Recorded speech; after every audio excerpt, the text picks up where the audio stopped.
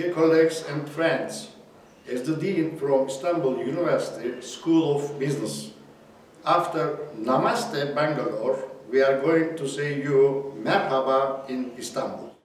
Greetings from Istanbul. My name is Recep Pekdemir. I'm the Director of Graduate Business School of Istanbul University. We are so excited to host Eduniversal 7th Annual Convention. So it's our great uh, pleasure to welcome all of you.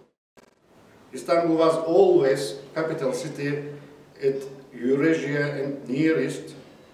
Come to Istanbul and enjoy cultures from Byzance, Ottoman and modern Turkey.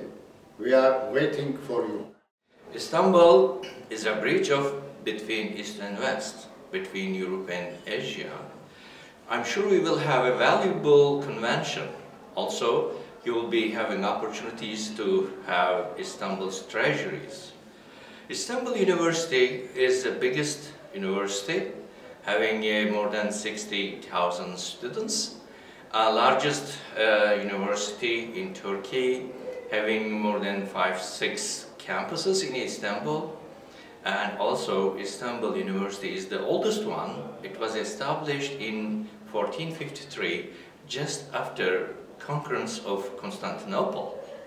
So, as Istanbul University School of Business, uh, Graduate School of Business also, we are very proud of our accreditation.